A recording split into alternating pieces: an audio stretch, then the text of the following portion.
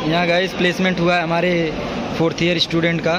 सभी लोगों का बैनर पोस्टर लगा हुआ है, देख सकते हैं। यहाँ भी हुआ है।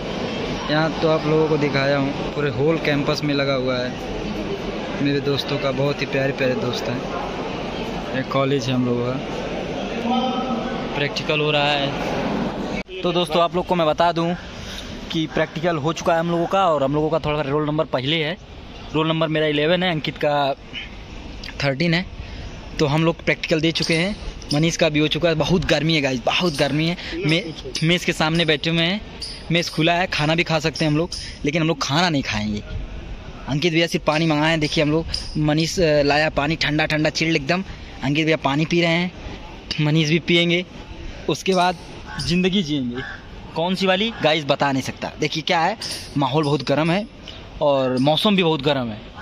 और मौसम वहाँ गर्म गर्म गर्म, गर्मा बैठा है वहाँ अपना शर्मा भी बैठा है वहाँ सब, ये सब, देखिए कॉलेज का जो माहौल होता है गाइस, वो बहुत ख़राब होता है, ठीक है।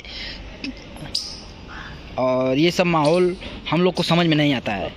हम लोग को सिर्फ़ क्या है, पढ़ना है, घूमना है, खाना है, बस। क्या? अंकित भाई।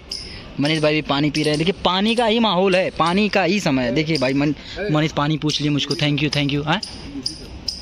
ये क्या कर रहे हैं आप? क्या बताएँ? फिर से बताइए क्या करना है? देखिए ये पढ़वैया है मतलब हमारे ये सीनियर हैं। हम लोगों से सीनियर है हम लोग के बोलते भैया बता रहे हैं। ये गलत बात है यार। है। अंकित भाई ये गलत बात है। भैया बता रहे अरे इधर